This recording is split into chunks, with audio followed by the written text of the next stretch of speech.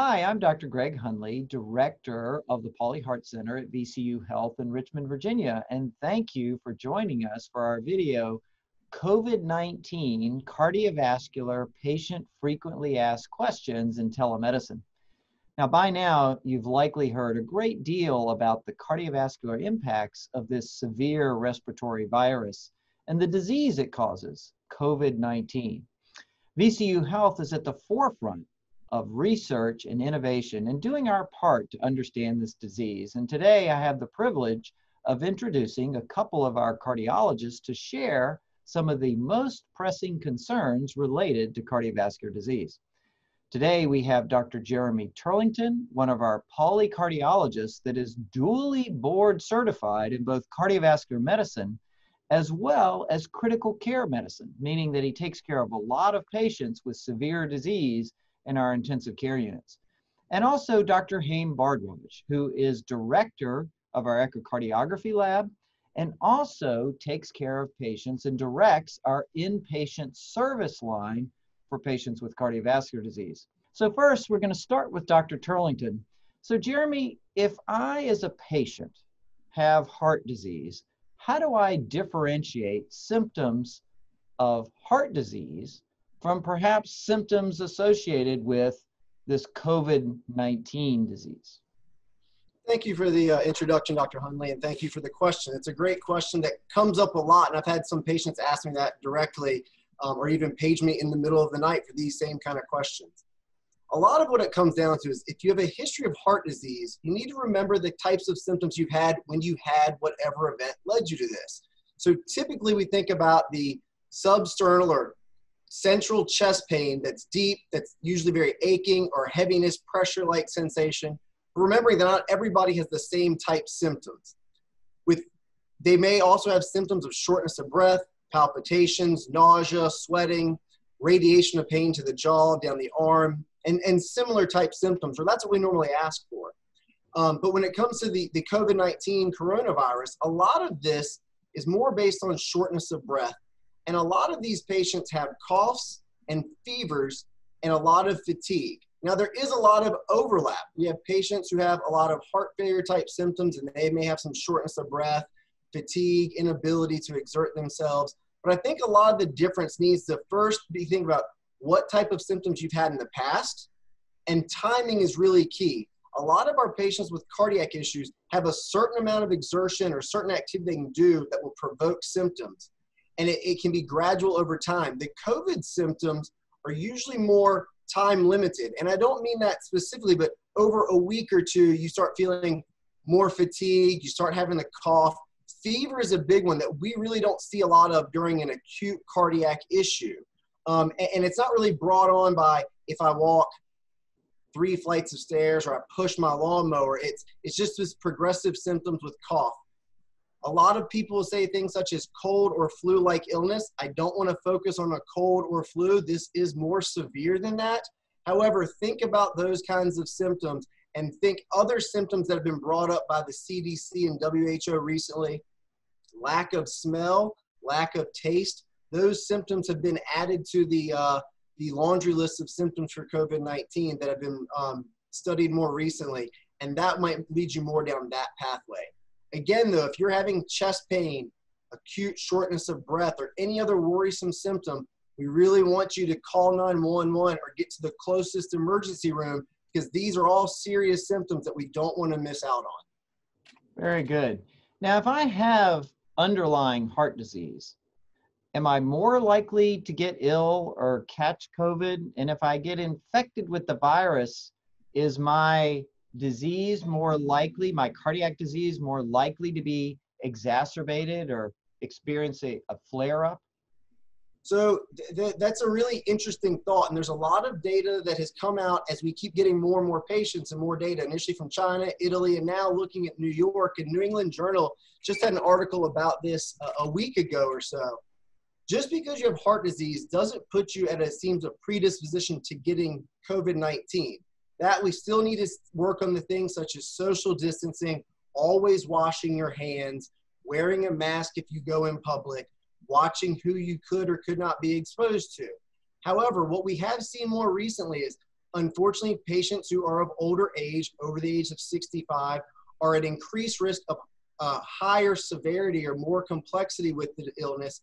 And as the New England Journal article from a week ago, patients who have known coronary artery disease, have hypertension, and heart um, failure usually have more serious symptoms and um, are having to come into the hospital having a more prolonged uh, illness than those who um, do not have heart disease. Very good.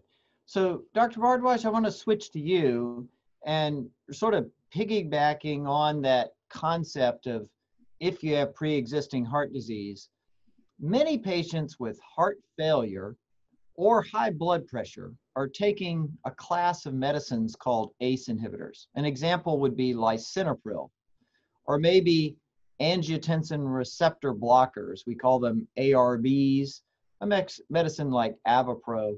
Should they continue taking these medications? Yes, there has been a lot of controversy in the media about these certain medications that we're using to treat high blood pressure and, high, and heart failure. Um, especially if you get COVID, are you going to have a worse outcome if you're on these medicines? Uh, currently, there's no data indicating that these medications are harmful. Uh, we do not recommend discontinuing those medications. If you have questions about your medications, um, talk to your physician. But at this time, we are not advocating for discontinuing those medications. You should continue them. Right. And what is some of the concept behind why you'd even think about discontinuing them? Well, there's some research out there that says the virus is what those drugs target the virus also can uh, affects and so if you get the virus if you get covid-19 those medicines will affect your immune system and you just have worse outcomes um, we really don't know exactly what but that's what some of that some of the data is showing, but we don't see any research to that effect now. This is ever evolving. We're learning more about COVID 19 every day, um, but at this point, we do not recommend discontinuing those meds.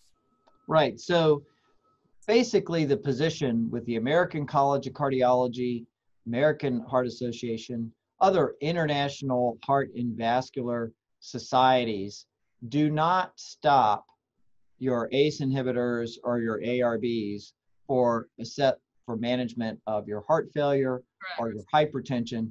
And we would only do that uh, or even possibly consider that in severe situations where you're very hypotensive, that we would consider stopping those independent of whether you had COVID or not. Correct. For those severe cases where one is hospitalized, correct. Yeah. So, Jeremy, coming back to you, getting on the issue of severity of disease, we know that some patients with COVID have minimal symptoms and others have severe disease, even requiring intubation, pressor support, etc. How do you manage these severe levels of disease? And are there therapeutic interventions that might look promising for patients with the severe form of disease? Yes, sir. Um, I'm actually in the ICU this week dealing with this very topic. Uh, again, a majority, a vast majority, over 80% of patients have very mild symptoms that don't require hospitalization, really require just staying home and the normal getting rest. However, if a patient comes to us and we bring them into the hospital, there are various levels of, of uh, medications that we can use, or various medications at different levels that we can use to treat these patients. Uh, hydroxychloroquine was one that was initially brought up a lot as an anti-malarial agent to stop uh, virus spread. The data, as we've got, as Dr. Bhardwaj talked about, we the data evolves every day, and, we don't have as much good data with that. The the big medication that comes up right now is remdesivir. It was just approved by the FDA, I think, on Friday of last week. This is another uh, medication that's supposed to block the replication of the virus, and we are using that that's the great thing about being here part of the VCU Health Center and really being part of the VCU Pauley Heart Center is we are actively engaged in a lot of this research. And, and so I can be in the ICU thinking about using one of these medications and call up one of my partners like Antonio Abbate, who's helping with leading some of this research. And we can talk about the patient, which medication may be right. Not only are we looking at blocking the, the viral replication with medications such as remdesivir, but there are also some medications that have been used in, in cancer patients to to tamp down the inflammatory response, which is a body's innate response that goes kind of out of whack and, and, and a little bit haywire, for lack of a better term. Medications um, that are called IL 6 blockers. This is a way to stop the inflammation that we see starts to really take hold on these patients about seven days into it. And then finally, we're also working with the Mayo Clinic and with the Red Cross about getting convalescent plasma, which is an idea. This is plasma drawn, blood that has been drawn and separated from patients who have recovered from COVID to actually infuse into patients with COVID to try to give them some better immune response to the disease to help them fight. So we're looking at all of this, and then we're doing various modalities using ventilators to help protect the lungs get the lungs stronger. And we're using all of this and attacking from different methods to try to help these patients through this when they are severely ill.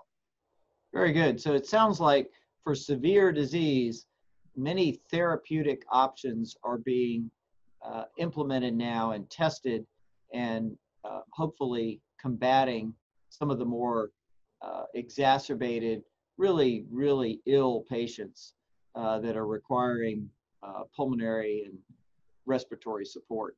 Yes, sir. Well, Hem, getting back to the patients with cardiac disease and maybe not coming into the hospital, sort of a whole new way of performing visits has evolved called telemedicine or telehealth.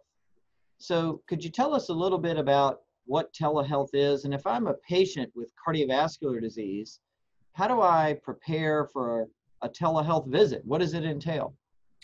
Um, well, telehealth is a broader term, but both telehealth and telemedicine refer to practicing medicine using technology and delivering care from a distance. So, in this time of COVID 19, it really respects the need for social distancing, yet at the same time ensuring all of our patients get the care that they need. Um, for example, at VCU, we have a platform called VCU Health Anywhere, which allows us to seamlessly, as physicians, to seamlessly interact with our patients and still provide that care and still maintain social distancing. Um, the telemedicine clinic visit is very similar to an in-office visit. Um, if a patient is able to take their blood pressure and heart rate, that's helpful for the physician. Um, the physician will either be on the phone or video, it'll be a video visit where we'll ask about symptoms, any change in history, review medications, um, ensure that the patient has the best care plan. Um, and if after that, if after a virtual visit, the patient and the doctor feel like an in-office visit is needed, we are here as well. It, so in-office visits are possible and we're here, but we're just using the VCU platform, the VCU Anywhere, um, VCU Health Anywhere platform to allow for social distancing and still taking care of our patients. How does one get ready for a telemedicine visit? Well, it's helpful to have your medications in front of you or have a list of those medications in front of you so that you can go over them with your doctors. For example, if you're on ARBs or ACE inhibitors, the medicines you, we talked about earlier, if you have questions about that, you can discuss it with your doctor. Um, if you can get your blood pressure or your heart rate, that's helpful. And if you can gather the questions that you have, um, that's the best way to be prepared. Very good. And then how do I arrange an appointment a telemedicine appointment with a Pauley cardiologist if one's needed? So if you go to our vcuhealth.org webpage, there's a link where you can fill in a request to have a, either a virtual visit or an in-office visit. And then you can learn more about our cardiologist via our Pauley Heart Center uh, link from there. But vcuhealth.org, everything is on that page and there's a link on how to get care. And click on that link and it will seamlessly help you either request an in-office visit or a virtual visit. Thank you, Hem. So uh, finally, in closing, Jeremy, thank you and thank Hem for all of your uh, attention here and your time in this busy uh, visiting uh, disease process and, and helping us arrange visits, helping explain the COVID disease, and what happens uh, if you're admitted and have severe disease. Is there anything else, Jeremy, that you would like to add? I think just it's, it's a good summary. We have patients. We take care of you on a daily basis with your heart disease. Make sure you take your medicines. Follow the, the, the, the instructions your doctor is giving you to take good care of yourself. And if you have any concerns, don't hesitate to call us. set up a televisit, set up a telehealth visit, phone visit, and if you have any real concerns, to come to the emergency room if needed so we can best take care of you. Many options about trying to take care of you at home or here in the hospital to not only protect you from your heart and your heart issues in general, but from the COVID-19 pandemic at the same time. Very good. And Dr. Bhardwaj, any closing comments? Yeah, I would just like to reiterate what both you and Dr. Turlington have said. Uh, these are unprecedented times but VCU has really taken efforts to ensure patient safety. And we are here. We don't want patients to stay home. If you're having symptoms, like you said, call 911. Our emergency room is open. We are here to take care of patients. And if you need to come into the hospital, we'll provide you a mask if you don't have one. We've ensured our waiting rooms and our clinics are socially distant. So we, as patient safety is our number one priority. So please come if you need us. Very good. Well, thank you, viewers. And to learn more about VCU Health and this COVID-19 disease, please visit vcuhealth.org slash COVID-19. Thank you, everyone.